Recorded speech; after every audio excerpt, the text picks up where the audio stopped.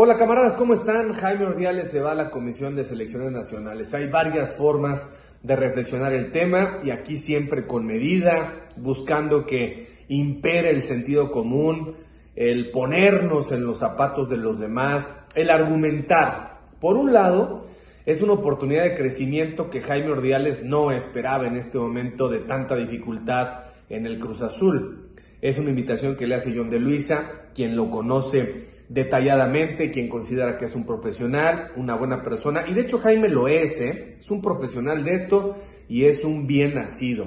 Todos aquellos que crean que lo está haciendo mal en Cruz Azul pueden tener sus argumentos, sus diferentes puntos de vista, pero todo está condicionado a la nueva forma de gastar el dinero en Cruz Azul o de invertirlo que no es la de antes. Y no quiere decir que no haya dinero, pero hay otra política económica para el equipo de fútbol. Lo que ciertamente extraña, y repito, no es crítica, pero sí extraña, es que Jaime Ordiales eh, tome esta decisión ahora. Seguramente le ha pesado, porque repito, es una gente con buena entraña. Y así lo he podido conocer.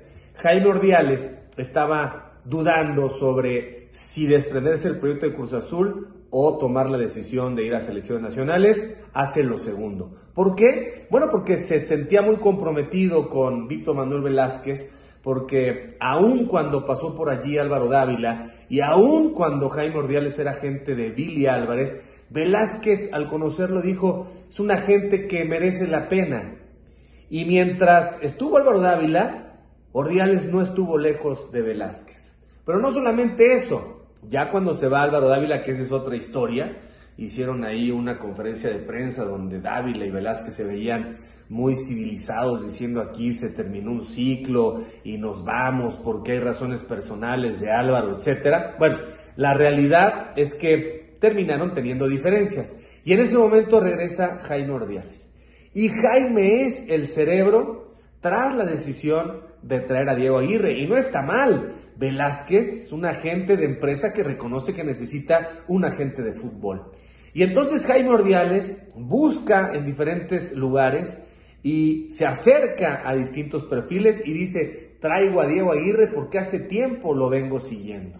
Entonces, pues él es fundamental para este nuevo estilo de juego que pretende Cruz Azul filosóficamente. Y no solamente eso, como Diego Aguirre es un técnico nuevo en el fútbol mexicano, pues Jaime Ordiales se encarga de ser el cerebro, siempre escuchando al técnico, porque Rotondi y Carneiro son decisiones del técnico. No se logró lo de Bruno Méndez, que era la prioridad número uno del entrenador, pero Carneiro y Rotondi son los dos refuerzos que pide el entrenador. Pero el entrenador no tiene nada que ver con las decisiones de quiénes se quedaron, quiénes renovaron, quiénes salieron.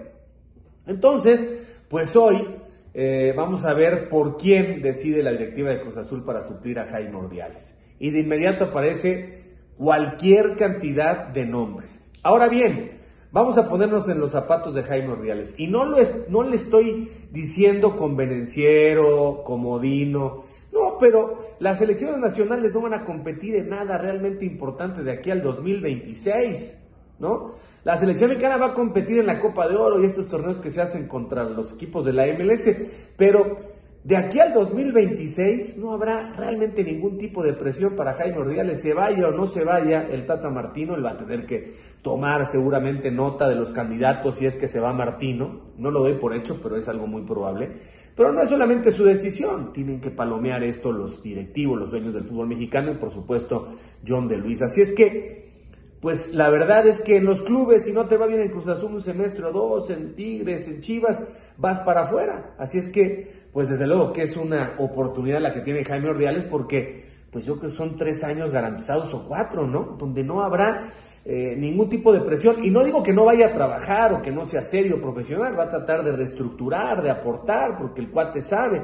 Pero la realidad es que con estos fracasos tototototes históricos de las elecciones la absoluta femenil y la sub-20 varonil, pues ha roto un ciclo, se ha perdido el tiempo y no hay competencias que pongan en riesgo mayormente la posición del director de selecciones nacionales. Así es que, ¿qué harían ustedes? Así, este cómico, mágico mundo musical de Cruz Azul y de las selecciones nacionales. ¿Qué piensan ustedes? Un abrazo, cambio y fuera. Veo a mucha gente celebrando la salida de Jaime Ordiales. Este, no, no comparto el punto. Sí, efectivamente, eh, no le dio la vuelta a ciertas situaciones esta vez, pero no por falta de capacidad o de inteligencia, sino simplemente porque eh, los dineros se están invirtiendo de otra manera. Y esta vez, entiendo, no hay intermediarios como siempre los hubo en los destinos de Cruz Azul. Cambio fuera, un abrazo.